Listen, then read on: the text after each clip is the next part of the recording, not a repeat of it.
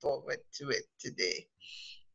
So, as we get ready to begin, let me just open in prayer. We will quickly go through a few housekeeping bits and then we will hand over to you, Dr. Dave. Let us pray. Lord, we thank you. We thank you because you have gifted us with committed servants of yours who have made the time to share with us, to build us, to equip us, and to join with us on this journey. And today we are very grateful. We're very grateful for this time together, for your children who you have called to have communion with each other as we seek to serve you in the ways that would transform our world. And Lord, we just ask that all the equipment, all the technology with that you have availed us will just be used to your honor today. We ask also, Lord, that you will sharpen our intellect, that you will open our understanding, and most of all, that you will speak your specific word to our hearts and help us to see clearly and to discern what you would have us do. So thank you, Lord, as we commit this time to you. Amen. Amen. Alrighty. Um, I want to to do two things. One, by now, I'm hoping that you would have met with your group. I've peeked in and I see that you're chatting with each other and you're making plans to meet. Uh, it's a wonderful bond of learning and exchanging ideas and the the work on culture which we've stepped out of last week does not end with week two it goes on because I know you will be reading and you will be doing other things that will be reinforcing and bringing that back to you. And just about all the other areas that we touch on, you're going to be able to identify the cultural nuances that affect that. The other thing has to do with your personal learning community. You are entering an exercise this week in which your personal learning community is going to be very, very important. So choose wisely because what you want to have surrounding you right now are persons who are eager to see you grow. Persons who are interested in joining with you in this ex, in, in this exercise. Persons who will understand that this idea of your your being certified in transformational leadership is more than just an academic goal, but it is a life changing event that places a, an, a, an additional emphasis on the things you do, the way you do it, and the reason why you do it. I can tell you that there's one distinctive with BGU. If I came to boast my academic qualification, I would have lost the vision of this school. If I came to experience a change of heart about how what motivates me to do what I do, then I have begun a learning process that I can't end. So you want a learning community that understands that as part of what you're going to do so that you are free to share your life map, to share your storylines, that they can listen keenly and say, you know, Jackie, you have a heart for, you have been given a special gift for. We hear this word coming up time and time again, and we know that you have been wired by God to do this, and we want to support you to do this. All right. You also need a learning community that will dot your I's and cross your T's and and tell you about your your your your writing style and what you could change and how you could improve it. But more importantly, in my mind, you need that supportive learning environment. So get it going because we're going to be meeting with your PLCs at a time convenient to them, yourself, and us. And we will talk with them about their commitment to you, your commitment to them, so that this community of learners will grow with you along the way. All right? So I wanted to speak to that in particular to make sure that your learning community is a community that you will be able to um, just work along with as you go. I wanted also to ask you, you are in week three. Are there any questions? Are there any uncertainties? Anything that you would like to, to ask or share about as you go?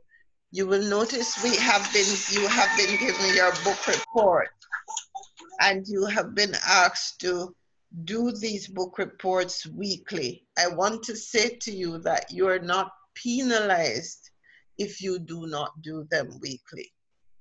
We understand that you are in a dynamic environment, you might not be able to. So prior to to know this is the second time we've been encouraging persons to do the book reports weekly.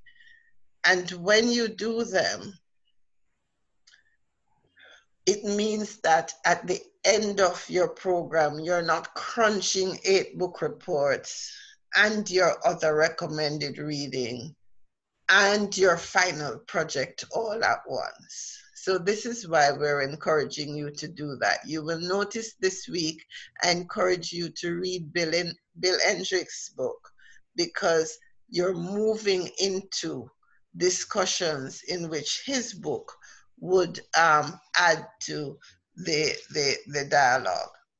And I would expect also that in your discussion, you're drawing on your reading and you're cross referencing and citing that so that in doing so, um, we're seeing that you know you're, you're you're growing from both the reading, the discussion, and your own personal experience. Um, there is a question. Uh, the fixing the time to meet with the professor begins from say week four down. So we want to aim that by the end of the course in week nine, we would have done all the PLC meetings with you and your PLC, myself, Dr. Dave, and so on. Um, Florine, you haven't been able to get hold of the book just yet. If you are in touch with people like um, Dr. Messiah, or even with um, oh, there is a last student, your education, um, oh, why am I missing his name? I will write that to you. There are some persons who, Marcel, right, there are some persons in Guyana, Florine, who might well have the book. So let me quickly step aside now. And are there more questions? Gia, are you fine? Gia, are you fine? If you're responding, I'm you... sorry. Okay. yes, I'm sorry. I'm here. The name, and you're fine. I am fine. Thank you. Right. Um. Okay. All right. Um. I do. I do have a question, um, Dr. Yvonne, on the life maps. Mm-hmm. Um, I see that we got two different, like one, you know, that has like lines, and then the other one has the actual. It, it, it do we do both of those? No. And you don't okay. have to do either. Because in your oh. creativity, your life map could be a spiral. Okay. It could be a, a launch of one of those rockets going out of, you know, the sky, you know. um, the idea is that it is it is doing what it's supposed to do in terms of mapping your growth trajectory spiritually, emotionally, as it is suggested there. All right. Okay, and the last question that I have is um, I'm having trouble getting all my group members together, so we haven't made really progress, and I'm just not sure what I can do. I, have tried messaging, right. but I just don't here, know. You know, here is, here is what we can do at the end of this session. If your group members are in here, I am prepared mm-hmm. to stop the recording and allow okay. you to just go together. All right? Okay, thank you. Raise your hand. You, um, here we go with the technology.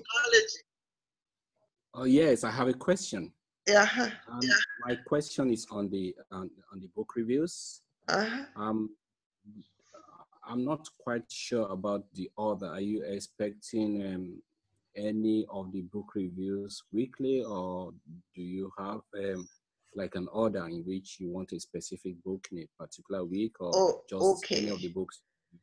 I, I, there isn't a specific order. We bear in mind the fact that you're expected to have read 50% of the books before you came to the class. And for those persons who have done so, then they may already have a good four or five book reviews. The good thing about submitting the book reviews, though, is that you will have Dr. Hurt giving you feedback. He's the man about the book reviews, right? I want you to, to, to look very closely, though, at what the syllabus says.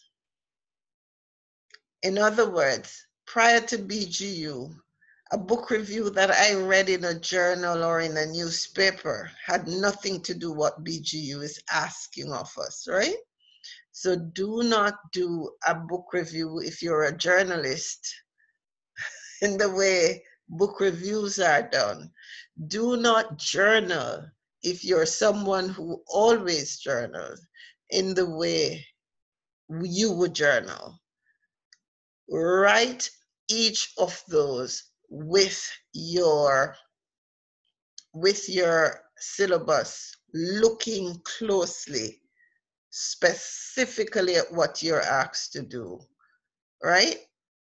Taking time for pre-saying so if it is a 500 word maximum then 700 does not give you added grade and is not a good way of obeying an instruction. All right the other thing to do too is that as you read, it is good to cross reference your work. You're being asked at this point um, to show the intellectual discourse that cross reference what you're reading in one book with another, right? And show how all of them are coming together. So if you get to that stage of your reading, you might not be able to do it in your first or second because you have not read a lot of the books just yet. But as you go along and you see the synergy between them, and you're able to see how one supports the other, still restricting yourself to 500 words. All right?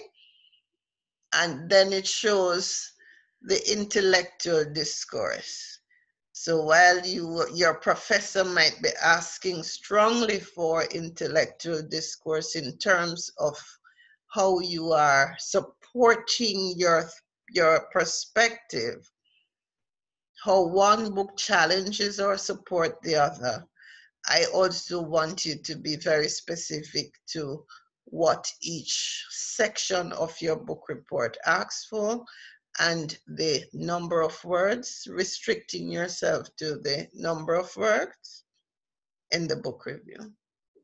All right? Thank you. I have been recommending the books. So if you have them, say for example, we're going into the whole thing of life map and we're really doing a, an, a, an internal look. We might be struggling with so many things. I have been sharing some of what I've been reading with you. Then you might want to look at, say, Bill Hendricks now because we are talking about him. And we're talking about some things he will be talking about when he comes on to be with us next week. And I should tell you, my response from him has placed him next week, Thursday, and not Tuesday as we would normally do. His best day is Thursday. So, as I got that response not so long ago, I want you to eke Thursday at five o'clock next week for your presentation from Bill Hendricks, the author. Right? And as I get ready to hand over to, to Dr. Dave, are there any other questions you may have regarding what we've been doing so far regarding the course? Dr. Hurt, is there anything that you would want to share? You're here with us. Nothing specifically, but I would reiterate that uh, on your book reports, you really don't want to let them go too long because um, it's uh, it will be a painful experience to try to get uh, get book reports done and try to get all of them written at the same time. So I, I would suggest uh, make an effort at, uh, at keeping track of them uh, and uh, and getting them in on time as, as much as you can. just just to keep keep the pain away of of having to do a lot of book reports over the course of a weekend. Thank you, Dr. Hurt. I want to share with you something I read. I have been grading um, the last semester. We had a strong um, and a, a, very memorable course, um, personal assessment course but I'm reading um, one of the um, papers presented, and it is so relevant to what we're going to do today, and particular to persons who are saying, My God, I did an overture. I did um, joy at work. I don't need to see another um, life map.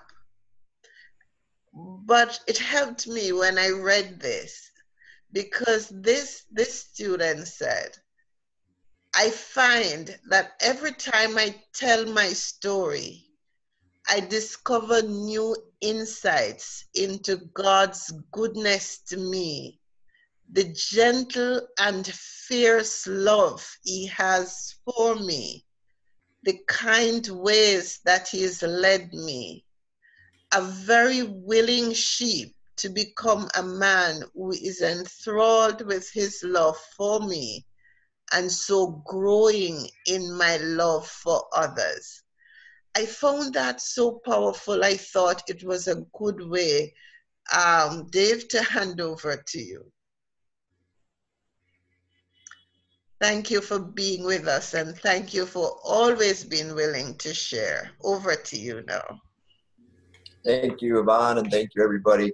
Um, it is always a pleasure to be able to tell your story and to to to talk and learn from others. Um, I want to warn you, first of all, like I said last week, uh, I'm not going to lecture.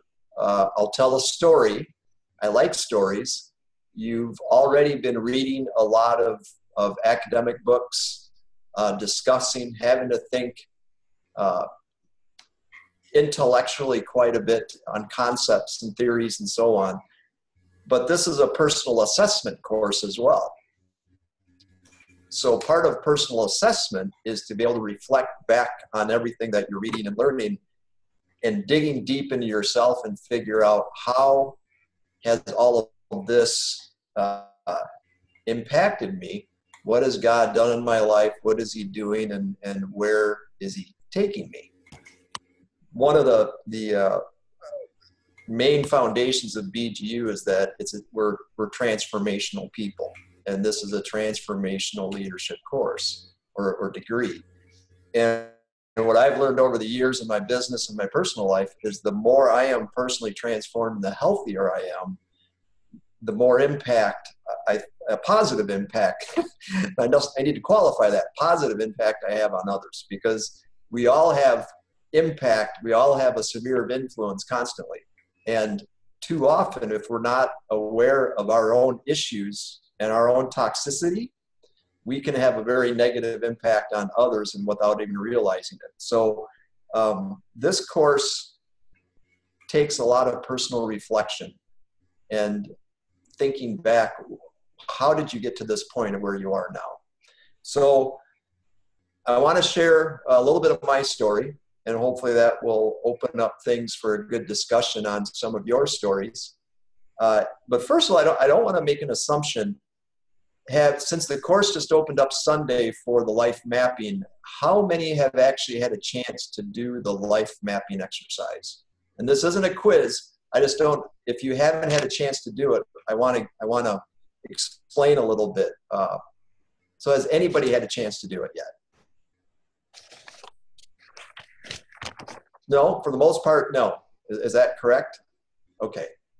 So, thank so, you for yeah. Has anybody had a chance to do it? Was this all brand new? Okay. So that helps me because I didn't want to make assumptions and start talking about life map if you don't have a clue what I'm talking about.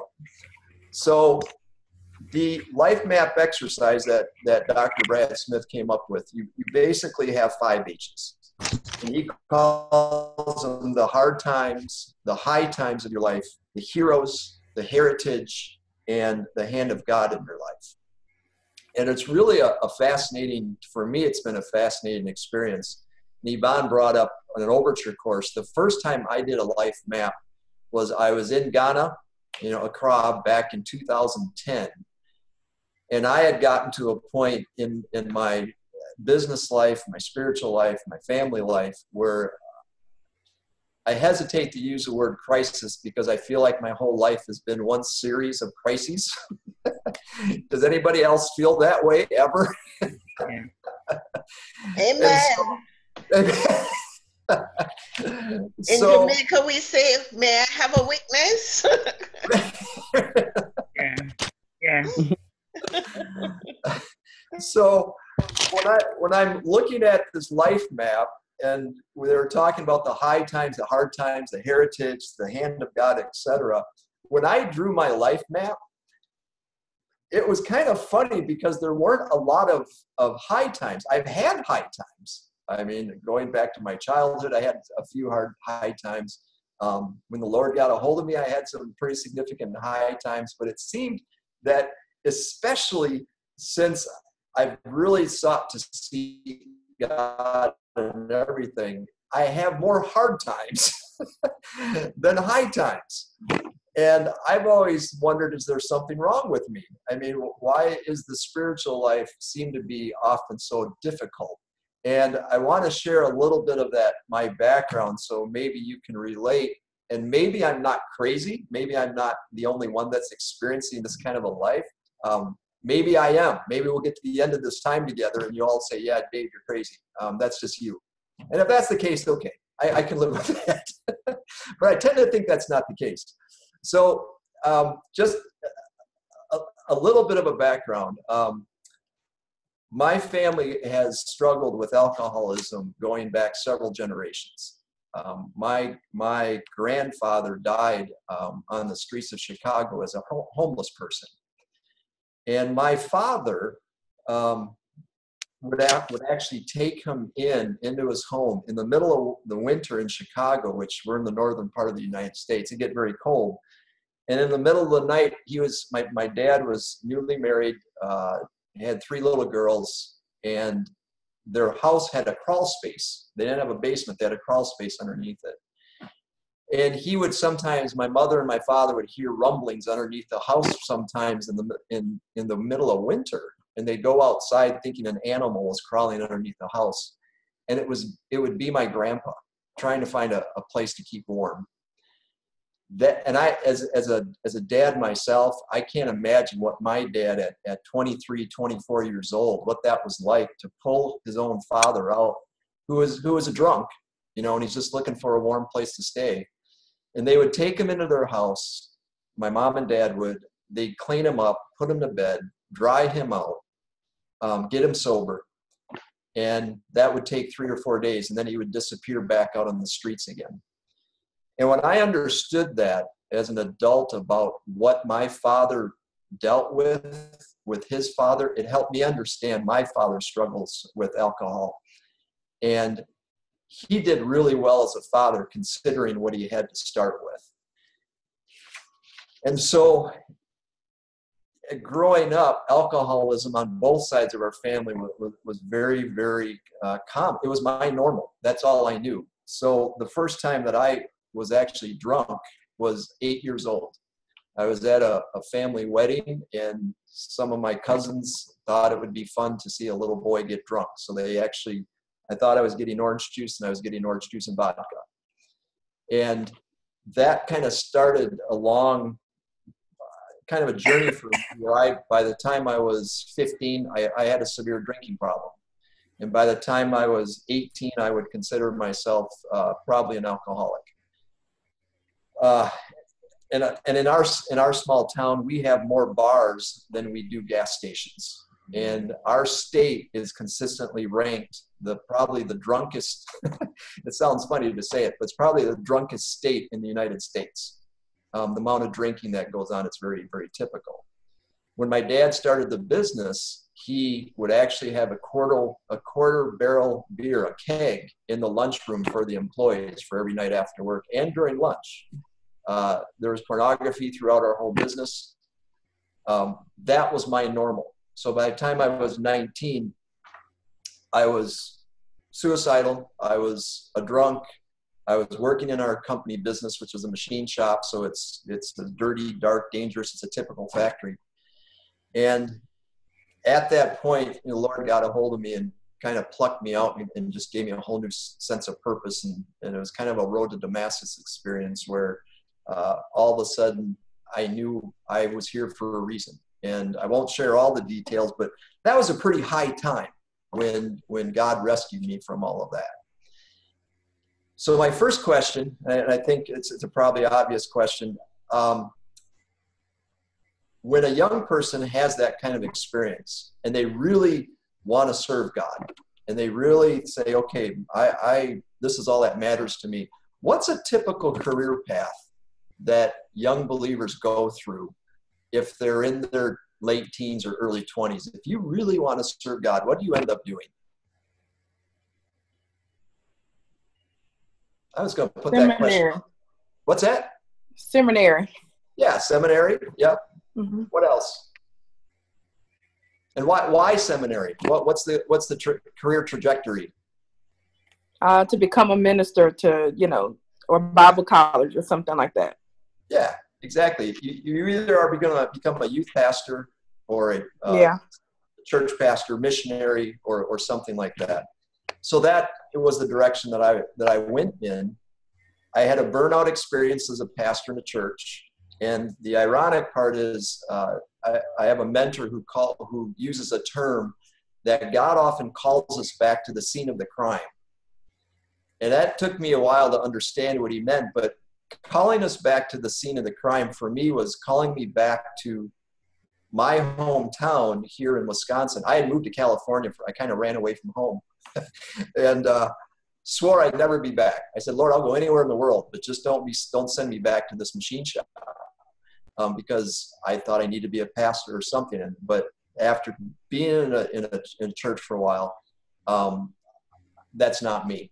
So I so the funny thing is, I ended up going to seminary because people still said, "Oh, you need to go get a. You, you still need to be a pastor. You're, you're you have a pastoral call." So the my wife and I moved up to Regent College in in uh, Vancouver, British Columbia, and we uh, the second year, I'm still trying to figure out what to do with our lives. And the second year, I took a course of that that analyzes kind of like a personal assessment, but it's like, what's your career path? What are you gifted at? What's your experiences? What's your temperament? What what are your skill sets? And the the all the assessment came back and, and it actually said you are uniquely gifted to run a small family run manufacturing business and i screamed when i saw that because i said lord i'll do anything else but do not return me back to wisconsin and the family business and all that dysfunction we ended up coming back and I actually ended up doing my master's studies um, on that. And the question for my master's, and I got the, I don't have it on screen, but I can read it to you. Um, the question that Paul Stevens, I don't know if any of you know Paul Stevens, helped me craft was, in what ways can a Christian manager affect the relational health of a family by addressing the overlapping systemic factors of family and business in a time of generational transition in a small family owned and run machine shop? basically, if you brought Christian values into a company, what effect would that have on the whole company? And what effect would that have on the family? And being 28 at the time, I thought this is going to be fantastic. We're going to usher in the kingdom of God. Everybody's going to be excited that we're back, and, and it's just going to be joyous. It's going to be a little heaven on earth thing. Can anybody guess what happened? based on your life experiences, you probably all have a can probably give an educated guess of what what the experience was like. The very opposite. yeah, um, yeah, it was the very opposite. Um, I had to fire my sister, um, which was incredibly painful for the whole family. Out of our entire 17 employees, 16 of them at some point within the first year told me off and, and and are angry at me. Um, anytime you try to bring cultural change or change of leadership in a family or a business or organization, you're going to get, and, and I had to study a systems theory, you're going to get sabotage. You're going to get um, people are just angry. They don't want to change. Uh, they're going to just freak out for whatever reason.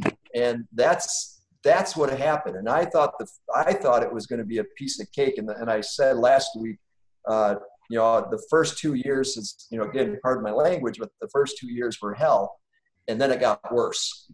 And how could it possibly get worse? Well, by year five, um, I was completely burned out. I had my staff, I didn't feel trusted me. Um, we had hired some employees and, and nothing seemed to work. It was just rebellion everywhere I went. By year 10, I'm thinking two to five years was all we are going to be. By year 10, um, I took my wife Tracy and who Yvonne has met. And I think, Leroy, did you ever meet my wife when you were in Dallas no, last No, when I was in Dallas, I think I only got to meet you.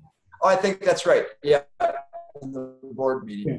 Well, if you know, if you met my wife, she's very charming. Um, she's very sweet, and I found out later. Uh, she told me that on our 10th anniversary trip that uh, she was going to leave me. Um, and that was at the 10 year mark. And I'm just, and, and I was a horrible father. The anger, the stress, everything was just, it was just unbearable. I wanted to run away from the family business. I wanted to figure out what God would really have for me. And it seemed that every time I tried to run, the message was clear you need to stay. You need to stay in this company and see it through. And uh, so five years turned into 10, 10 turned into 15. And by the time I got to Accra, Ghana, and, and was with BGU, I think I was in year 18. And I was in a, that class where we did the life map. And basically, you map out your whole life the hard times, the high times, you know, all those things we talked about. And I, I absolutely came unglued and, and in that overture class and just sobbed and sobbed because the journey seemed so hard and at times. And it wasn't just a one month journey or a two year journey or a 10 year journey. It had been 18 years since i had felt called um, to really seek god in everything that i do and yet i felt like i was sequestered away in this little family business that i never wanted to come back to so my so the, the point of all this it's like why am i telling you all this I am still trying to figure out in a lot of ways why things happen. And maybe it's a wrong question why things happen. But I don't learn very much from my high times. I don't know if, if that's just me. When things are going well, I don't remember a lot of the life lessons that when things are going really well. I remember the hard times. I remember the painful times. I remember those times where I, I was absolutely at the end of my rope and I needed a, so I needed either God to intervene or someone to intervene to help bail me out of the situation I was in. And so my question um, that I want to ask people, and I and I, I, I wrote this down as well, to, to help you reflect a little bit, because I think this is, and it's going to take some vulnerability um, on your part, to, and I hope you're willing to share. But as you reflect back on your life, and, and this is really, we're trying to build community in this course, and it's, and we, we want to be honest and open with each other. But that's, I think, when we learn from each other. But how has how has God used some of your hard times um, to shape your calling and to bring you where you are today? Um, because for me, being in this business for now 27 years, I'm finally seeing some sense of it, of why I'm here, and and I might share a little bit later tonight.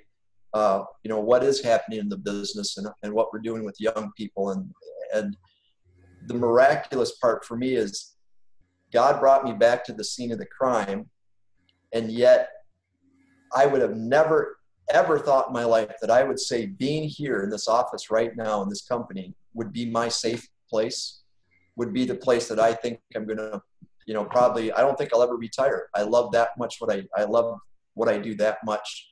I it's not it's still not that easy, um, but God has taken this horrible place that was my, you know, the worst place on the planet and turned it into something that I just go, wow, um, I, I just love being here.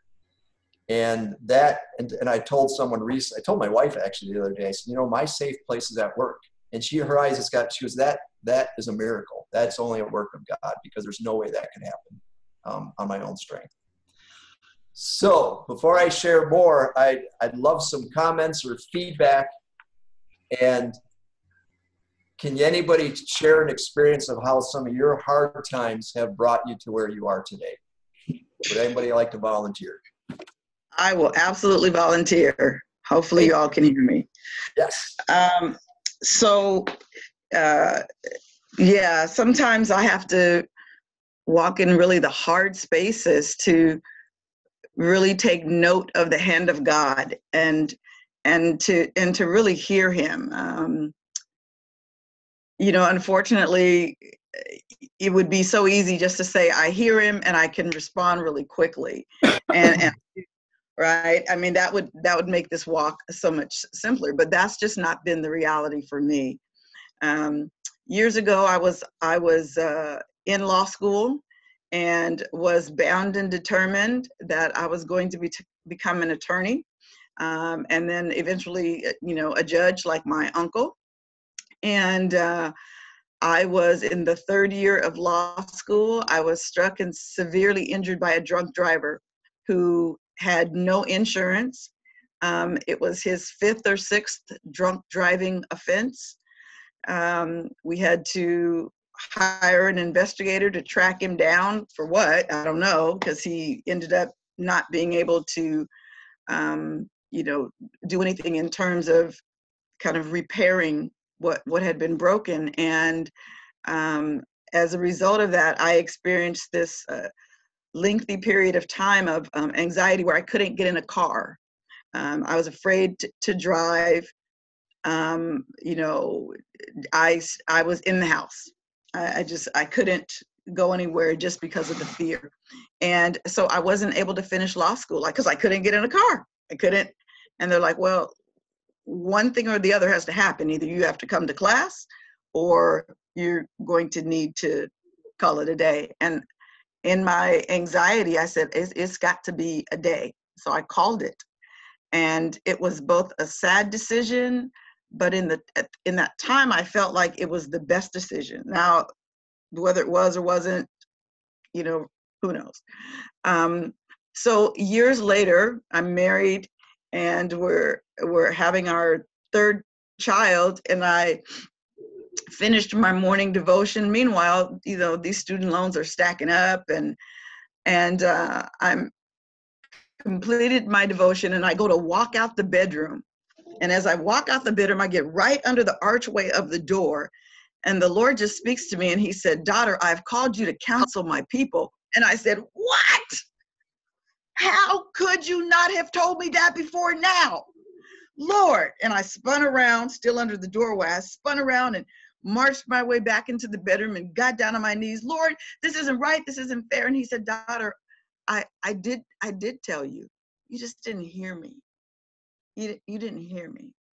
And I was completely a wreck because I was like, Father, how did I not hear you? How did how did I one, this was not something I wanted to do. So I could, you know, it's easy to say why I could not hear. Like a counselor, a therapist. Absolutely not, Lord. That's got to be the most boringest job ever. I need something with some power and authority and lots of money. And that was the driver. Um, but he shared with me that he he he was speaking and he had been speaking, and I didn't hear him. Fast forward now, uh, however many years later, thirty, whatever it is, something years later, I am so appreciative that I get to walk in who God has purposed me to be you know and i am my best me when i'm doing this work. And this as you talk about your safe place man i love to come to my office and i can sit here and work and talk to people and encourage and and share all day long because it's, it's just like flowing in the element you know now that i'm now that i'm here but it was a, a, a hugely difficult experience getting here and i have this huge financial debt that looms over there because I chose to not hear. I wasn't in a place where I could hear and respond to the call of God and to, um, you know, do an about face and and go in the direction that He had really purposed for me, not Adair's direction, God's direction.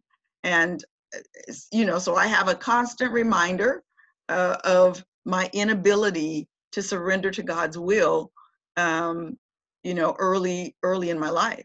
But I'm glad I'm here now, though. Absolutely. Wouldn't trade this for nothing. Nothing. So those hard times really, uh, those hard times made you appreciate where you're at now then. Oh, absolutely. Plus, there's so much joy in doing the work.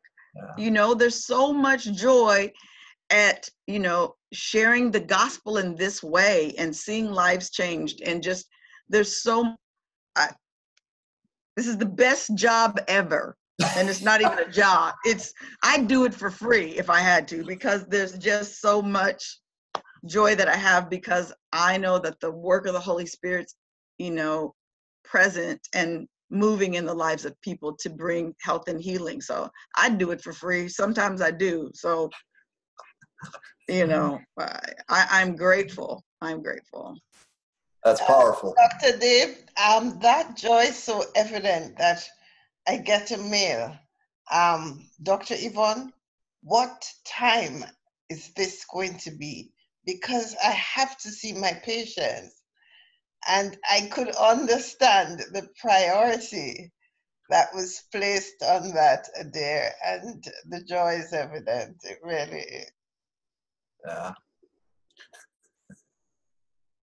Powerful. Thank you. Who else?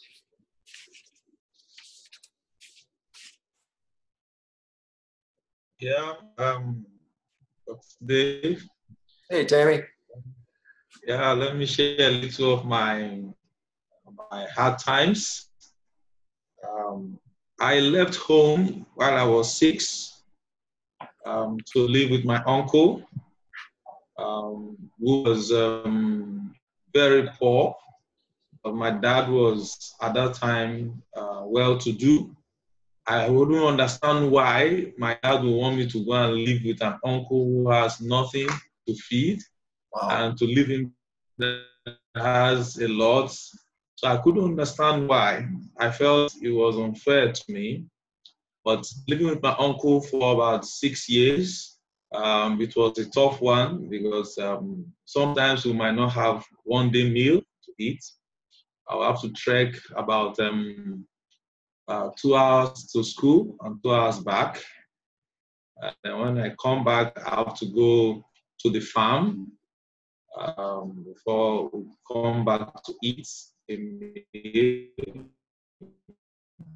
So it was tough. And living with an uncle um, who had about seven children himself, uh, anything go wrong in the home, the blame would be me. Um, there was a time the wife lost one of her babies, and they felt I, I was one that killed the baby. I was accused.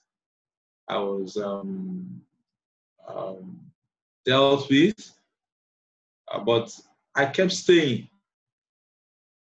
kept staying. You know, my dad would call and ask, "What? Are you okay?" I kept saying, "I'm okay." Uh, but those times, I, I didn't know God was preparing me for my call in the future. Um, I learned discipline uh, there because he was a military man. I learned um, to be very hardworking and to uh, go the extra mile to make sure things happen. I learned how to be honest. Learned it from that home, even in the in, in the midst of the oppression, in the midst of the battering. Sometimes I have to sleep on a bench while others are sleeping on the foam. You know, sometimes I have to be punished for what crimes I did not commit. you know, uh, but after a while, when I left to go back to my dad's house, I discovered that I was different from my other younger ones, my about 11 younger ones I have. I was different. And my dad could trust me with his um, uh, money. So my younger ones know if he keeps it where carelessly, they will pick it and finish it for him. But I was so disciplined that to be there, I cannot touch it because um, of where I'm coming from. So those hard times, those uh, times of oppression, those times of rejection, God was using it to prepare me for the future as um, to be a pastor. Um, so when I came, the only the only problem I had with my dad was that I love football. I go out to play football in the morning and come back in the night. at soccer. And that was the only issue I could have with him because any other issue, if I felt I was a, a priest already, but then I was not even born again. I'm not even giving my life to Christ. But he felt I'm too good to just be somebody that is not born again, that I'm a priest. He keeps saying that you're a priest, you're a priest. I keep saying to him that I don't understand why I want to be a lawyer. How can you be saying I'm a priest? Because he will say, because your lifestyle is different, you know. So till today, I thank God for those times that I went through in my uncle's place. And rather than have a hatred towards them, I thank them for that opportunity uh, to to, to learn. But a time came also, my father also went down to poverty because he was a politician, everything crumbled he had. And we had to face, the whole family had to face hard times again. And um, I could pull through with that because I already had experience, but my younger ones could not. It was, it was so shocking to them. It was devastating. At the point we had to go and live in uncompleted buildings uh, where there are no windows, no doors, uh, just open that way. At the time, the owner of the uncompleted building came. I want to renovate. We have to move. Uh, we had to scout with a friend. Um, two wives, one husband, and 11 children. I had to stay in a small room. um, uh, there, my dad died because of too much of thinking, too much of, um, he died out of stress, heart attack. And I had to fend for the entire family. I had to work in construction sites to take care of my young ones so I could not go to school. Um, I dropped out from my law degree. I had to drop out. But all that God was working out uh, my call for me, I didn't know. And my dad died a year after I gave my life to Christ. So I was angry with God. I was not happy with God because how can you allow my dad die at the time I have surrendered my life to you? Uh, it was a disappointment to me. So I actually backslided uh, left the faith because I was hungry.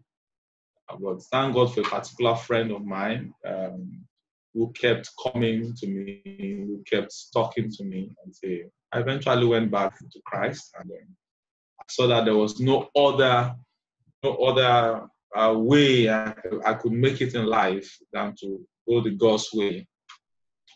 Um, so that those shaped my understanding of life and ministry and my calling. Um, in the area of my calling, I, I, I gave my time to music, music ministry, uh, singing and uh, dancing. Uh, when the time came, the Lord spoke to me and said, "That is not your call." I was like, this is what I've learned since I gave my life to Christ. This is what I've been doing. This is what I have passion for. But somehow the Lord was saying, that is not what I'm calling you to do. So that was a time of confusion for me uh, that I could not understand. At the point I said, well, I'm even going to ministry because um, uh, my dad suffered and died. Uh, in Nigeria then, in the 80s and in the 90s, to be a minister is uh, synonymous with um, poverty.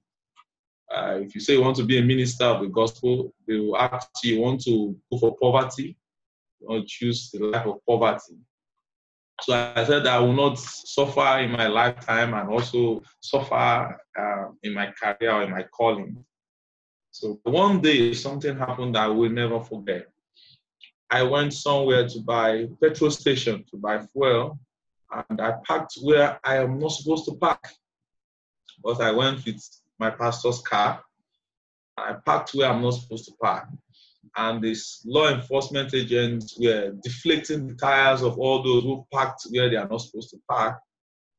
And I was approaching the car. One of the um, gang members around that area so he was telling the policeman that don't deflect this car because the owner is a pastor. And at that time, I have not even answered God about the call. So I stood there, I was watching them. so the police, the law enforcement stood up and said, okay, he left my car because a gang member who don't know me from anywhere, I've not met him before in my life. I does not even know who I am.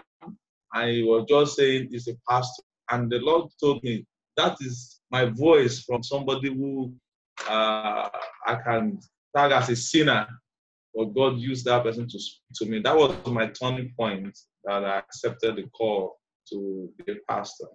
Uh, so since then, um, when I face hard times, I know that God is teaching me a lesson and preparing me for the next phase of life in the future. Uh, thank you. Uh, that's my little story. Oh, that's that's that's wonderful. Thank you for sharing that, Tammy. Just this morning, I'm going to share my screen real quick because um, this is this is uh, the scripture that I actually wanted to bring up to you all, and you just did it for me, Tammy. Um, this is in Hebrews chapter 12. Um, endure hardship as discipline. God is mm-hmm. treating you as His children, right? And the part that and and I I didn't bring this up just to share for you all today. This was what God was speaking to me about this morning um, because of some of the things that I'm going through right now. And, you know, I, I skipped down to verse 10. You know, our Father's discipline for us a little while as they thought best, but God disciplines us for our good in order that we may share in His holiness. And no discipline seems pleasant at the time, but painful. Later on, however, it produces a harvest of righteousness and peace for those who have been trained uh, trained by it.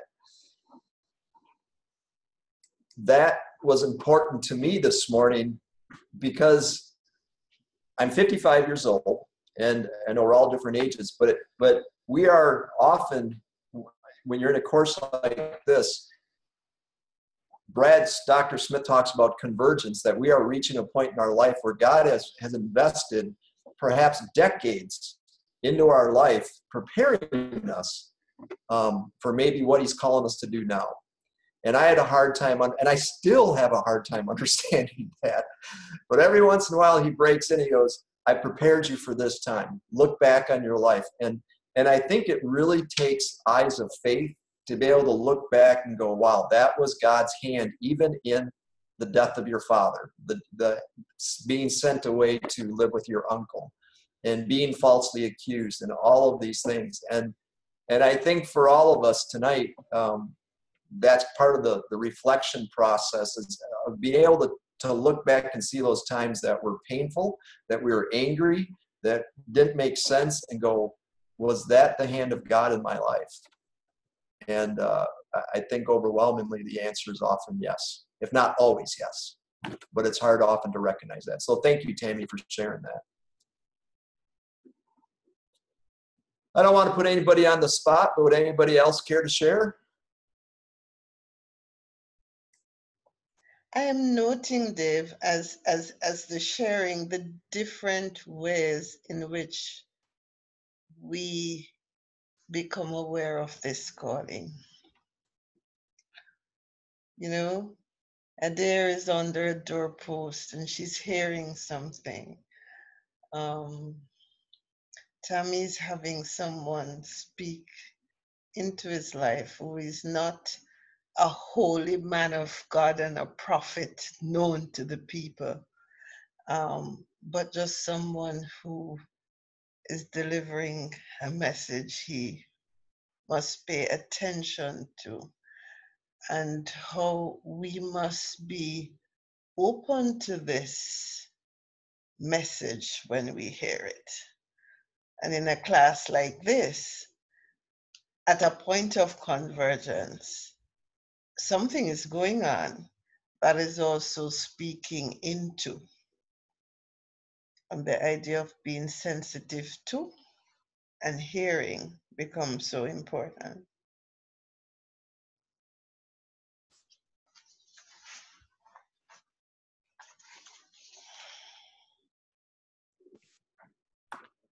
Well said, Yvonne. Well said. Anybody else like to share?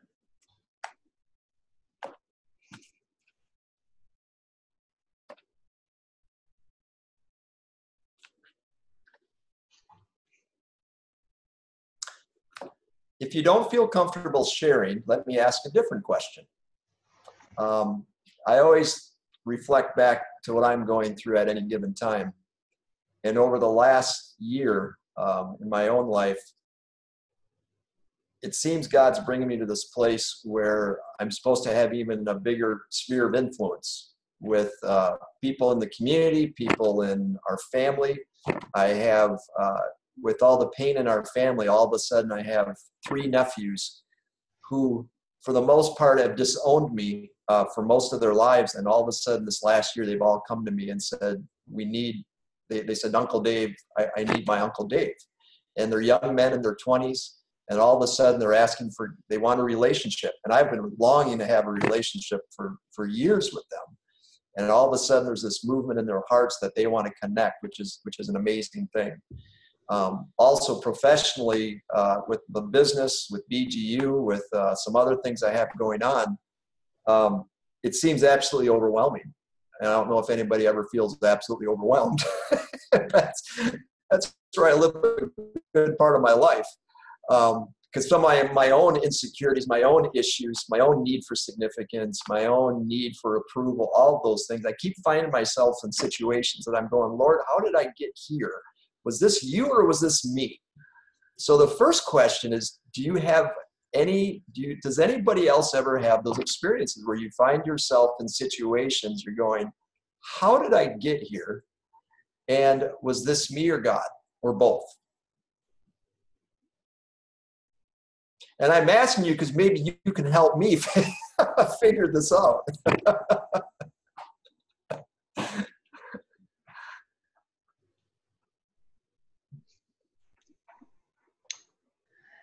Yvonne, I'm going to start yep. asking you to call on people if someone doesn't yeah, speak yeah. up. and I'm going to call, I'm going to start. Oh, there's Jackie. Jackie just turned off her mic. Okay, her mic. right. Okay, Jackie, um, go ahead. Go ahead. I mean, I, I, I posted in the um, online chapel, but what I found is that, I mean, we all go through hardship, different types, family, personal, professional. Um, but what I found is that all my hardships have taught me empathy mm. and um, forgiveness and a, a good way of understanding what other people experience and how how to be how to be a better listener less judgmental i mean it took a while to get there because for every hardship gives you a different experience. So um, when you're going through it, it seems rough and tough, and you say, "Oh my God." Um, I don't often ask why, because um, I know there is a reason. What you want to do is see the end of it. but in all my years, it's the empathy that um, that has really settled my mind that I'm able to. Just today, um, I'm doing, I've been trained as a mediator, so I had to do some observations today. And there are two young men, 15 and 16, who came with their parents. One young man, he's fifth, one young man chopped the other one with a, a machete or a machete, as you might call it. And, you know, one father was saying, I need compensation, $30,000 and you saw that the father he had control of his son. The other young man came with his mom. Um, he was out of control. She was very weak. She she couldn't manage him at all. But uh, my heart just bled for both boys when i looked at them. Because the young man who chopped the other one he he was so polite and all I could see in my heart was that this young man just needed a role model. And all he wanted was probably love and guidance. Um, so it's it's um, hardship for me is about learning so much because uh, every day something hits you over. When you're in business, something hits you. You know, people say things, people write things um, but you just learn to let it be. Um, you learn to let it be over time. Yeah. Anyway, that's that's what I have to share. Jackie, I appreciate that because that resonates deeply with what I'm going through and learning. And it, it's it's like the Lord keeps coming back to me, and, and, and it's also the sense of dependence. The hard the hard things come every day, like you said how can I learn to appreciate and look at those as lessons and look at God as a father saying, this is an opportunity for you to learn more and to grow more. And even though I'm 55, like, well, how much more do I have? The older I get, the more I realize how much more I have to learn. Yeah. I feel like in some ways I'm getting dumber. uh, welcome, welcome to the club. I am, I am reading considering that I feel that I am the, the oldest here. But I've been have been drawn to a book I read 40 odd years ago. and the book is not even in an electronic print, but it's Philip Thatcher Being Human. And I just want to read one excerpt because I'm struggling um, with the selves, when we get into an environment like this, I, I believe we have the public self, the one we feel safe to present, and that's okay. It's the one we want persons to believe that we are. Yeah. And then we also have the gut self, that part we're not disclosing yeah. And yet, it is when we find a community in which we can be true to the self. Yeah. that is that God self, that we really begin to feel free. And I'm mm. finding as you get to my age, you probably gain the strength not to want to be Dr. Hurst or to be Dr. Ataj or to be Jackie um, in her business, but to stand in the self that sets you free. And I think Philip Thatcher says it nicely when he said, genuine honestly, honesty, be it mm-hmm. intellectual or emotion, mm-hmm. uh, has tremendous power to free persons to be persons. But mm-hmm. sometimes this happens at the cost of some degree of personal agony, and our reluctance to pay the price often inhibits our willingness to be honest. We're afraid of being hurt, of being rejected by others because we say what we think or show how we feel. Perhaps yeah. especially so when we try to be honest on the feeling level.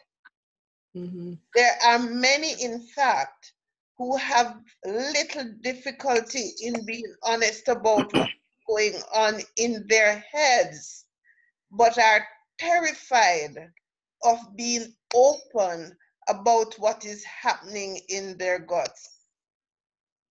Yet, how we feel about something or someone is every bit as important as what we think. Mm-hmm. You know, and, and I don't want to cite the example he used, which is a racial example, but it clarifies it for us. But why am I introducing that reading now? I am understanding that we're doing something that um, seem not very academic and very you know, needed and necessary, but it becomes something that opens the door to a growth path when we're ready for it. And the point of readiness may not be now for some of us because our public persona is very important to us now, and we want to live that until. But there comes a point when the two need to be one. And it is in that space that we find the freedom to truly be who He has ordained us to be and who we're called to be.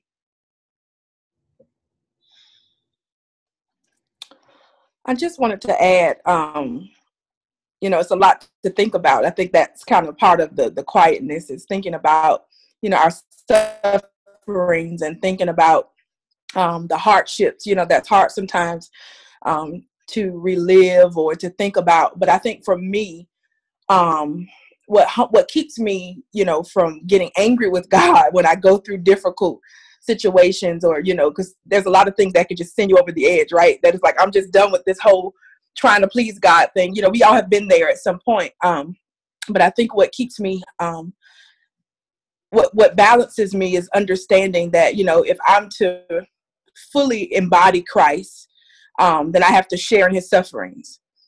And so you know everything um, and, and to also understand to balance that with the fact that he's a good father and i think that's constantly what i have to remind myself what as a mother would i do this to my child out of you know why would i do something that's harm, harmful or hurtful to my child and so it helps to keep me sober in that regard and to always see him as Abba and to understand that his thoughts toward me are always of good and not of evil. And that even when he's disciplining me or trying to produce something in me, um, that again is for a purpose. It's not because he has nothing else to do. Um, and I think for a long time I saw God as this evil ruler, you know, because of what was hand down. Um, you know, or passed down generationally that I saw him as this ruler, but I was not in relationship with him and his love. And so now, as a mature believer, I understand that his love is first and foremost. And so I can receive the suffering in love, I can receive the rebuke in love. I can receive the no in love. Um, and so that's just where I am, and it doesn't make it any less painful. Um, but I'm currently reading um, The Making of a Leader um, by uh, Dr. Clinton. And, you know, as I was reading last night, it really, um, I had to sit there and really reflect because as he talks about kind of the various points in a minister's development, you know, it forced me to look back um, over some periods that I didn't have clarity on. Like, why did I go through that? Like, why, why did I have to endure that? Um, but it, it helped me to understand, oh, that, that was development. Oh, that was sharpening me. Oh, you know, and so that book has been really helpful um, and it's caused me again to reflect on things with a new level of clarity um, because hindsight is always you know 2020 and we're able to see the big picture but i think you know um, it's it's all about development and it's all about making us better people um, and so if I have to go through, you know, I listen to Adair's um, situation and I listen to all of the hardship and I'm like, man, that I have nothing to complain about, you know, getting hit by a drunk driver or going through some of the hardships that my brothers have gone through over in Africa um, and, and things like that. Um, but it's all purposeful. And that's just what I have to continue to tell myself that it's all purposeful. And at some point, because we know in part, right, and prophesy in part. And at some point, it's going to make sense. And so I just have to trust His leading.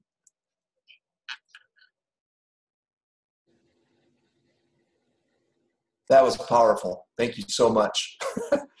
that that that helps me. I mean, I, I really appreciate that perspective because as I get older and older, it's like okay, like I said, I I reach points where I think I'm mature, and I think okay, I'm I'm I've got my act together, and then God reveals something else. I'm like, oh man, I got so much more. the, the potter's wheel, the potter's wheel. exactly, exactly, and, and it's it it's that, and I and I think it comes back to having that relationship with with with Abba, with Papa.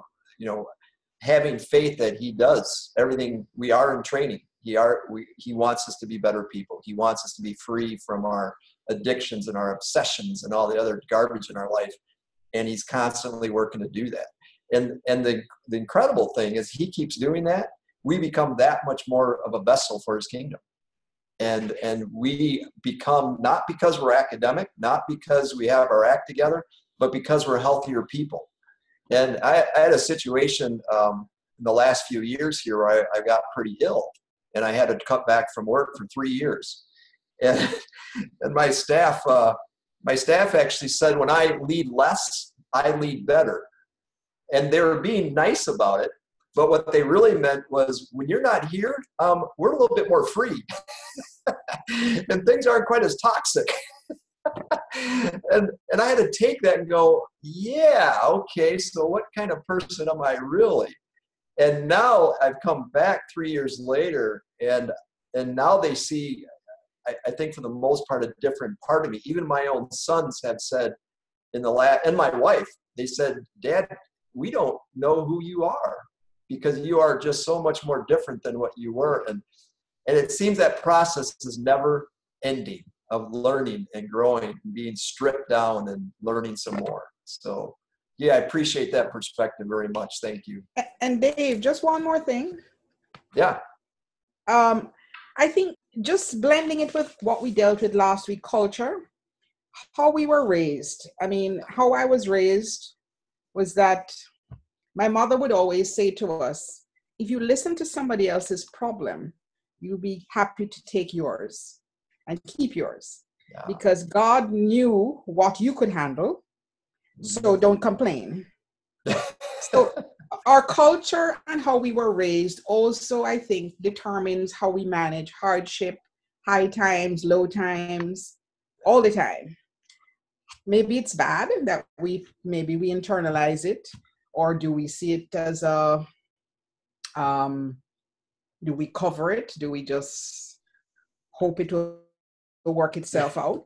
But that is how we were raised. That you know, when you listen to other people's problems, you take yours up because God knew what you could handle.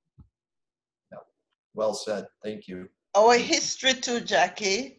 And exactly. Which is intertwined in culture because yes. persons will um, ascribe to even my ability to bear pain which, yes. which, which surprises my doctors. Right. With my maroon heritage. Exactly. And for yes. those of us who know of the Maroons and just how um, courageous they were in the oh, midst oh, yeah. of battle and just oh. how they never gave up, then. I I I am seeing not because I want to, but I am mm-hmm. seeing that in me in a way that I keep saying I will die standing. Yeah. You know, so I think too that something came with that middle passage. Yeah. That has impacted how we deal with it. But Felicia, yeah. I am looking at you. Are you okay today? I am not seeing the the, the the the bright glow coming through, but let's hear from you. How what yes, time yes. is it? What time is it where you are? Uh, it is 6:21 right now in the morning. Yeah, so but you're coming awake. Oh, yes, yes, definitely today. I think I'm so much more awake than the last class. I think the last class, my my brain was just dead, and you know, I was listening, I couldn't even be be expressing myself well. Okay. So yeah, you know, I mean, it's it's you know, this this class has just been so, to me, it's so enriching, because and and just to hear everybody's story is like you know, um, to me, I always feel like I have a, a I, I struggle with uh, processing my thoughts um, and to actually express myself. I actually process my thought better when I write. But you know, I come from a very different background in the sense that um, I actually do fear success from God. Yeah, um, I, I I don't think I don't seem to really struggle with knowing what God wants of me um, because I think I hear him very clearly. But I think I struggle to want to embrace it fully. Just because every time um, when I feel like there is success in what I do, God brings me to another place and it's like starting all over again. And that itself is so tiring for me. I, I mean, I've come to a point in my life where I'm like, I'm just physically tired you know? So it's like okay i think i just do not want to excel anymore. I just just just maybe just do it enough and just stay there you know? So so yeah so i guess i'm trying to process what it means. And of course the last draw was being kept here in malaysia then going back to the us you know i thought god that i thought this is what you want me to do. I have um you know and, i love it because i actually um, was very very um, um, um, I, I, participate a lot with my senior pastor to turn over a church that was at the helms of just closing down. Within one and a half years from 35 people we had in the church we had up to 180 and um, and it was not just the numbers it was the very fact that people were were growing they were coming alive in their faith spiritually um, things was just going very well with the whole thing in church and i thought wow you know thank you god you know that you allow me to participate in such a uh, a, wonderful work that you are doing in, in the life of the people and the relationship that I've built with everyone in the church, every single one from, you know, from, from the 89 year old right down to the three year old. I love it. I love them so much. And then, you know, thinking that I'm just coming back here for a three weeks weekend, you know, bringing only one luggage home and never was allowed to go back to the US. It's like, okay, you know, God, you know, just as I thought we we have got to do more. When I go back, it's like you're stopping, you know, it's like I'm stopped in my tracks again. And this has happened all the time in my business, at the helm of my business. I feel like okay, God is uh allowing me to walk away, but at the same time, it's like I would want to walk away, but at the same time, it's like, you know, why is he opening the other door for me? Which seems to be just what he has called me to do as well. And then feel like okay i have got to start all over again. But there, there was also a conviction that you know i should be moving. So every time when i reach that success i feel like okay god is just giving me that choice to walk away. And the other choice is always seems to be more like what God wants me to do, right? But this last draw was like, okay, God, I totally, I mean, going through the first two time, I was going like, okay, maybe it's it's not God, it's me, you know. Although it looks very much like what God has opened, and you know, I have that that that peace. So this time I was going like, okay, God, you know, maybe this time is really not you. I've always walked away from success. What does this all mean? You know, so right now I'm like at the point where, oh my God, this whole work that is starting down here seems to be very, very tedious. Um, yeah, so I'm just going through that that that stage where I am just tired.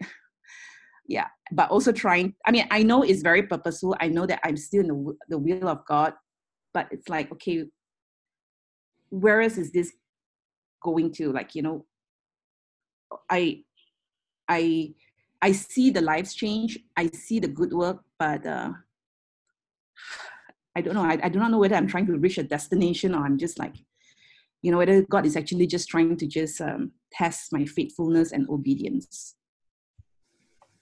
Yeah. So I just like. I, I, I, I, Dave, go ahead. Go ahead. Yeah, Felicia, I, I resonate again with everything you're saying because I'm at a point right now again where I am afraid of success. And part that's part of my family background. Our dysfunction is as soon as you're successful, um, our family would put you down. You're not allowed to be successful. You know that was a dysfunctional uh, of an alcoholic home. So I, now with this whole convergence, and I would say all of us are probably in a similar place. God has invested decades in each one of us. Right? I see. I hear your story, and I don't see okay, you're having to start over. I see God going, great, she got that task. She accomplished that. Now let's notch it up a level and make her even more uh, influential and healthy and even more of a, a, a force for the kingdom. But it's exhausting. And I'm in a place right now, I'm just like, Lord, I, I would rather just walk away a lot of days and, and go. I love the wilderness. I love want to go in the wilderness, but he's making it clear that no, I have this other way for you and you have eternity to rest and to relax and enjoy but but i have this lifetime for you right now. And so the challenge for me is is always reflecting back because god does give us choices. And so what often helps me is I, I go back and one of the fun exercises i did recently was i did a life map of of the life of joseph.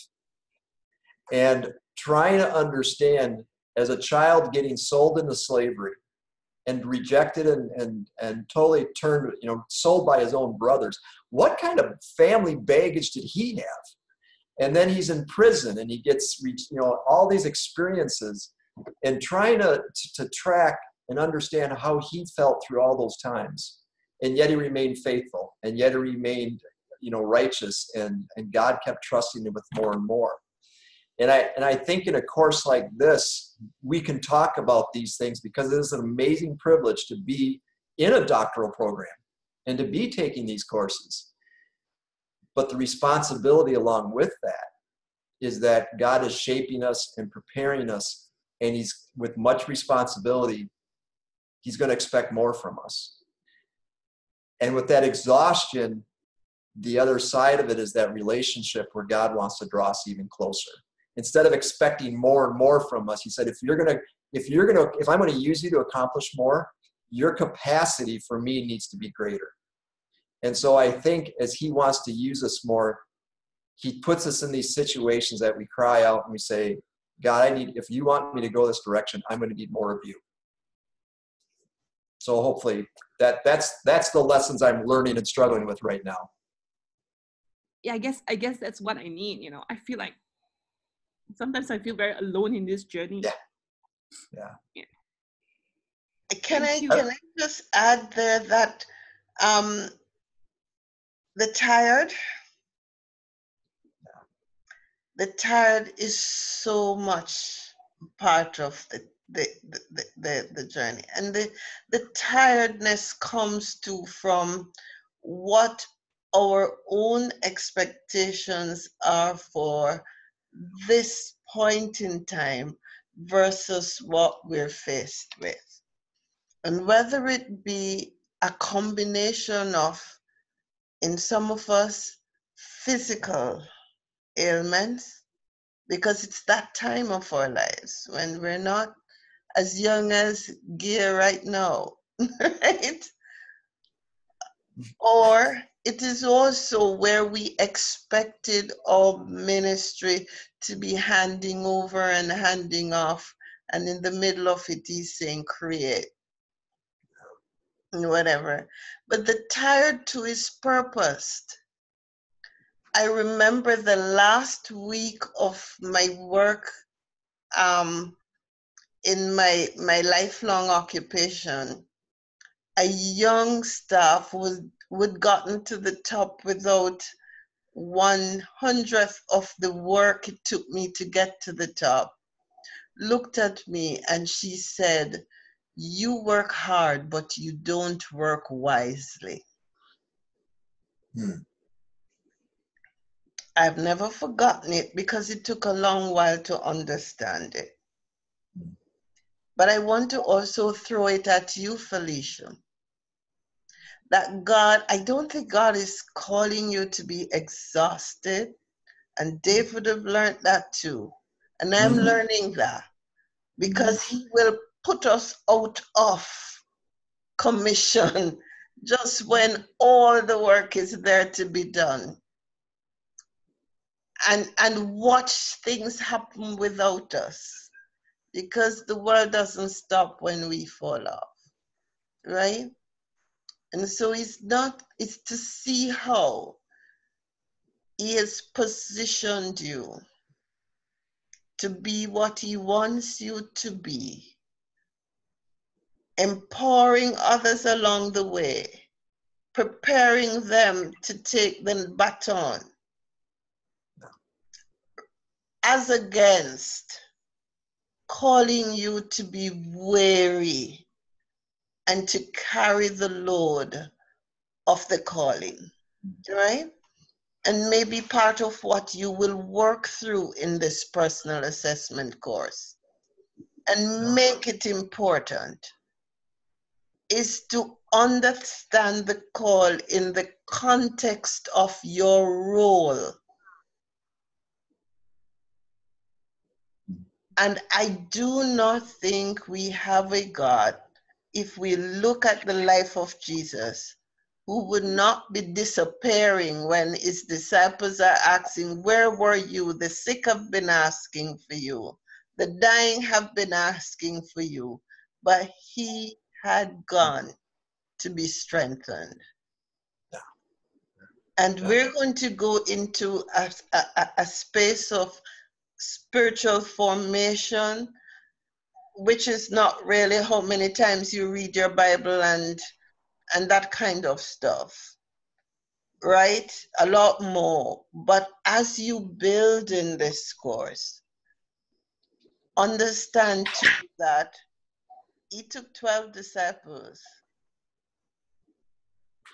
12 people that didn't make sense right and not 12 intellectuals and not 12 whatever but 12 guys who would be all foolish when he left and disperse and give up but what he had poured in them was to last, and what He's poured in you will last, and He's not letting you go.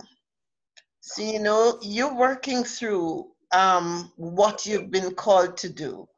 The end of this nine weeks, one thing I would encourage you and would like to see you place in it is how you are going to see yourself as this precious child of God who he wants to be safe, healthy, relaxed, happy, content, mm-hmm.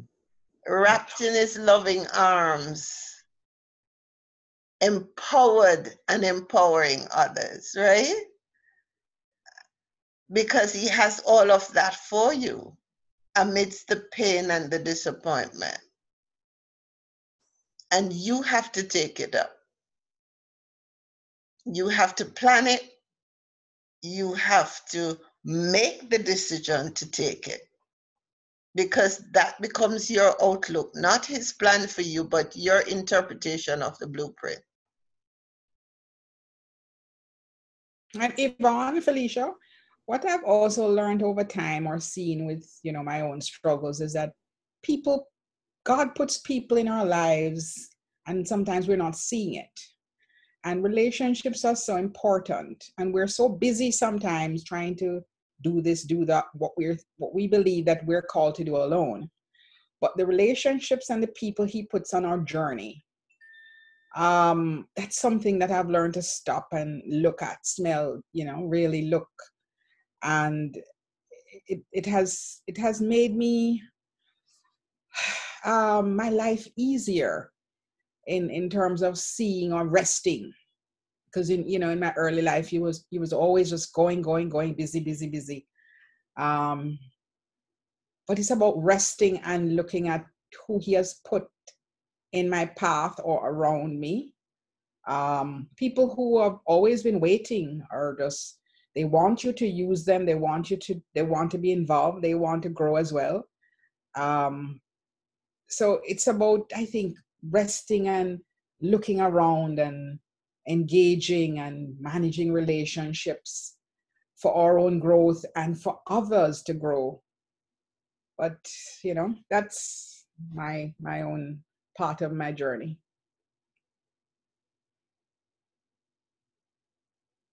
You. Know these are some really great uh, comments and uh, um, it, it, it keeps bringing dave's comment about convergence to mind because I see a lot of that in my life as well, uh, where at each stage I look at, uh, if, if you looked at my resume, my detailed resume, you would you would wonder what I've done with my life because it seems to be all over the map.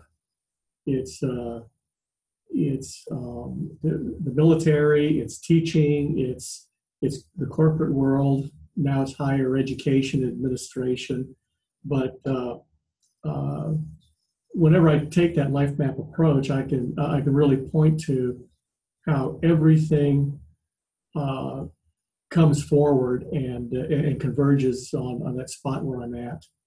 Uh, but uh, one thing that that jumps out at me, especially this this past Sunday when we were looking at the book of Nehemiah, is that it's it's it's both God working in, in your circumstances and working on the people around you. Uh, and also you working to prepare yourself for things. Um, so, in the first chapter of Nehemiah, uh, the, the king notices that Nehemiah is, is sad and he asks Nehemiah what's wrong. And Nehemiah explains to him about how Jerusalem is torn down and he's grieving and, and he really wants to go back and build it. So the king says, okay, fine, Nehemiah, go back and rebuild Jerusalem.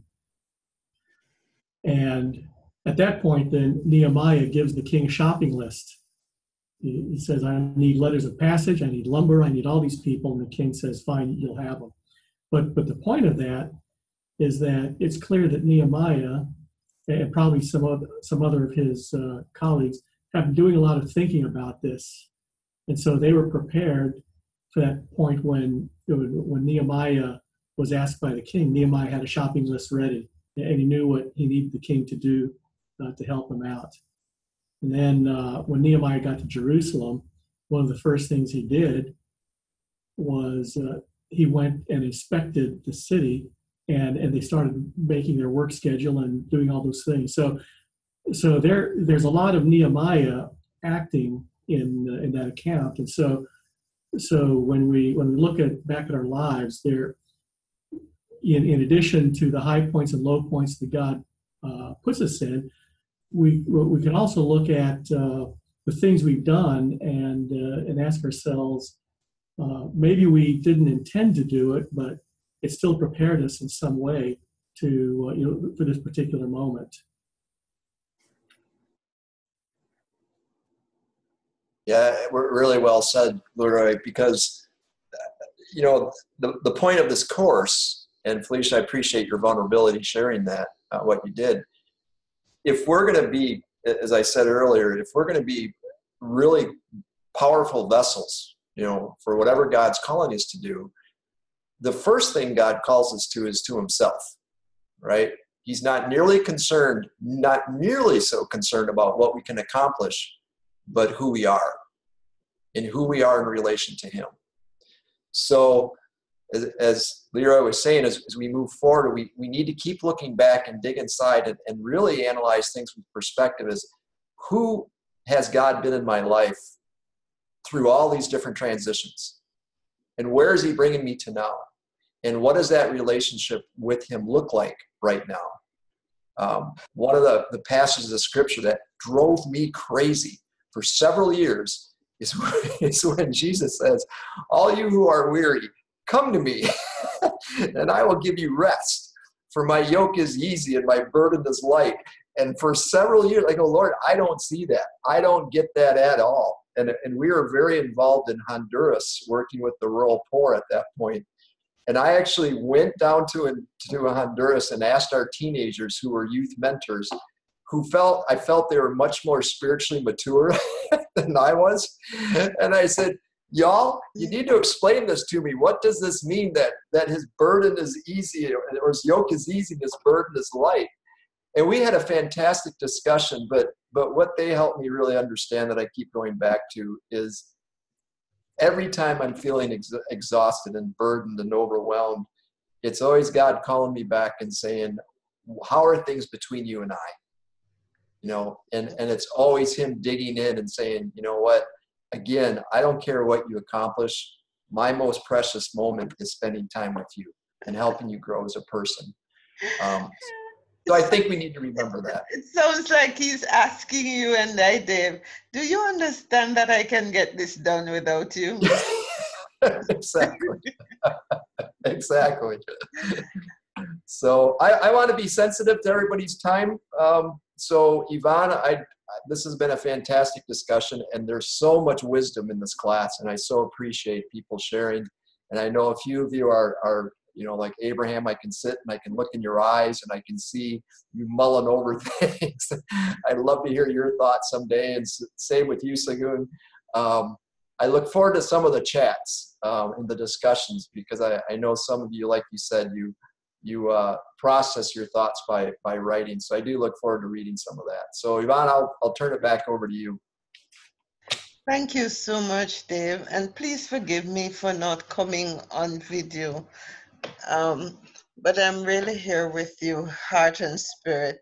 I'm happy also that we did this early in the week because I knew we would have had like persons who have done overtures and um, and I think it also the life map comes up in your joy at work course. So if you've done those courses, you've you've done it. And I wanted to introduce to you another look at it, another look at it, this time not so much as a polished academic exercise for your classmates to see um, you know there are two sides we can say that we've we've suffered the most or we have achieved the most but more so to be reflective in terms of what we're seeing. And as Felicia pointed to in a very strong way, I find that the life map leaves me asking, God, what would you want me to do? What would you want me to do? Not because what I am doing is not what you want me to do, but because sometimes even within what I'm doing, there's a subset that the change is within me, that with God working in and through me, I can still be doing what I'm doing, knowing that I am in His calling, but I am transforming myself he is transforming me in a way. I am open to His transformation in a way that I become just a deeper discerner of. And um, I, I change sometimes the value I place on some things. And, and right through this week, the value that I'm placing on this is the prayer for the heart to see, to understand, and to be fed. And may all the books that you're reading, whatever it is that you're doing this week to fulfill the requirements of the class, minister to you in a way that you you feel that closer connection with the call that you are clarifying during this course. So God bless you. I don't want to close. If was there anyone who had something burning to say, um, I would want to give you the opportunity to do that. No, then you know, Abraham, I'm going to ask you to close us out in prayer. I'm not going to let you go silent today. Okay, I'll be glad to do that. Okay. All right, let us pray. Father, we thank you for today. We really appreciate you for all the wisdom that comes together as we share this evening. We thank you for your loving kindness.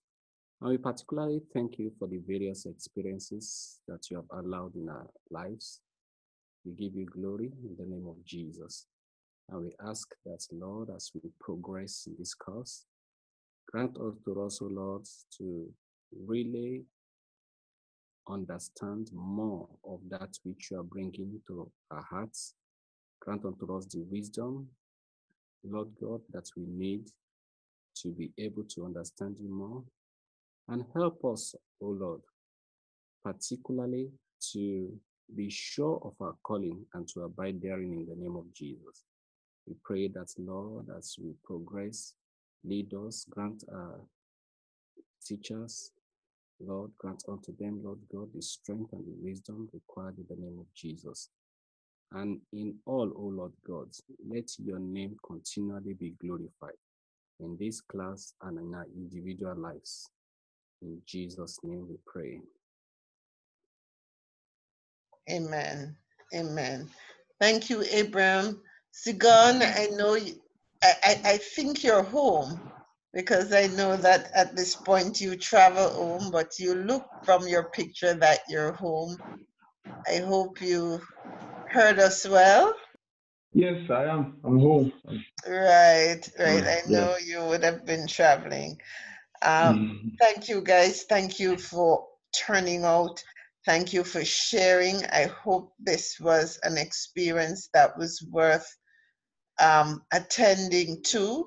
And I, I'm really inviting you to read, to get into this, this the discussion, and to to to add to the discussion from your reading so that for those of us who may not have read something as yet, we begin to get a taste of what is happening in the various books that we're all reading. Okay? Because that too um, lifts the level of the discussion as we interact with. We practice proper citation along the way, and we just get better at, you know, as as I often say, just saying hi, hello, I agree with you is not a response. Right? But we're furthering the discussion when we respond, sometimes adding, encouraging, and um, leading um, the person to whom we respond to other material and information our culture, our our way of doing and seeing things, all of this makes the cross-cultural communication rich. So feel free in your response to others to add your perspective because that's how we're going to see the world as a melting pot where we understand what we don't right now. Alrighty, bless you all. I had promised Adair that um, I would stop the recording and allow you to continue to speak to your classmates, if at all possible. And I don't know if this will work, but um, Adair, who are your group members? I have to uh, away, everybody. I got to go. So I think uh, it's. Uh, thank you um, so much. Thank you. Thank you very much.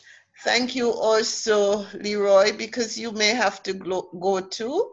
I will have to stay because I um the, the if I leave, we may end this session. But thank you so much for being here. Thank you, everybody. I know you haven't attempted to get home yet. no, I'm at the office. Yes, thank you. Okay. Okay, bye. Bye. So, Dr. Yvonne, it, so it's um, it's myself, Jackie, Felicia.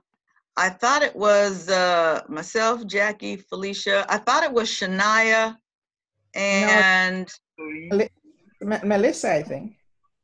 Oh, that's right, Melissa. Yes, Melissa. So Jackie, myself, Melissa, Felicia, all the A's, all the A's. Um, and I thought I thought there was a guy in our group. Melissa, Jackie. Uh, Melissa, are you there? Can you speak? Is this group three? Yeah, I'm here. Right. We me? haven't heard you speak at all. Uh, and, and I'm just realizing that, okay, all right. So um, is it possible for, for you guys to arrange a meeting time? Um, does everybody here have a Skype? Is it our group or is it Gia's group? Mm-hmm. No, yeah, that's what I was confused about because I know I asked the question about it's, not being able to meet with my group. I think it's oh, Jill. Oh, oh, it okay. wasn't Adair. It was, it was. It was Gia. Gia? Oh, okay. It was Gia. All right, Gia. Who are your group members? And one. Florine. Okay, who else in guest group here? Do I oh. log in to see? Okay, I'm signing off, you all. Have a good night. Okay. Bye. So so your group is okay, Adair? Yeah, I think we're okay, right, Jackie? We're just nailing down our, our day and time, and oh, Melissa. Oh, all righty. Saturday seems to be a good day. Sorry, could we could, could I just do a quick one, uh, Adair, before you leave? I think we're meeting this Saturday. Yeah. Yeah, so we just need to nail down a time. Right. Okay. All right. Uh, I, so you will so have that discussion. You will have that. Yeah, let's talk offline. In in the group, uh, your group chats. I want everybody to be, you know, corresponding with each other in the group chats. I have been linking it so that what you did last week is still visible. All right. So each week I link okay. your group chat, so you're not losing any of your chat. But okay. Um, but let's go to to to Gia. Gia, are you there? Gia. Okay, guys. Bye. Who are you? Bye, everybody. Bye. Who are your group mates, Jill? Can you hear me? I'm sorry. Yes, your group mates you're not able to connect with. Who are they? Yeah, it's uh Florine, Sh Sh Shanika. I, I think that's Shania. Uh-huh. Yes, I'm sorry, Shania. Um. Uh. That's all I can remember off the top of my head. All right, I am going to um just just send a a mail around to all the other um persons. Shania is not here. Florine, you're hearing, right? Yes, so yes. you will want to get into that group chat and just um, respond to Jill so that you can yes, I have I have said that I will be I think Friday is a better day for me than Saturday. but I know that we haven't um, been able to connect with everybody.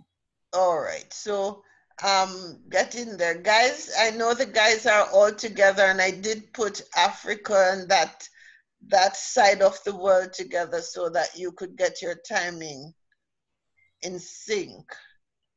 Are you okay? Abraham, Tammy? Yeah, I think we're okay. Well, All righty. Um, well, well, please, please get. Um, I I can be assured now that your group is is is okay, right? Yeah. I am going to get in touch with Shania and ask her to, okay. to, to, to join the group, the group discussion, um, just so that we can have it all worked out. All right? Yes. Um, is Gabriel still on the course? Huh? Gabriel. Say that again. Is, is Gabriel still on the course? Uh, no, I have a feeling that I'm going to have some persons withdrawn um, because okay. they have not attended just yet. Right? Oh, okay. They have not come in. So whoever is in your group who you've seen have not attended since the class started. Just pretend okay. that you don't have them. All right. Oh, okay. So it's right? just I think withdraw. Right. I think withdraw and look if you see when you look at the roster. If you see okay. withdrawn beside his name, I think he's withdrawn. Gabriel is All Francis, right. right? I think Okay. All right, that's fine. Then that's three of us then. All righty. Yeah. Thank you. You're welcome. Bye, right, everybody. Bye. Bye. Bye. Bye. Bye.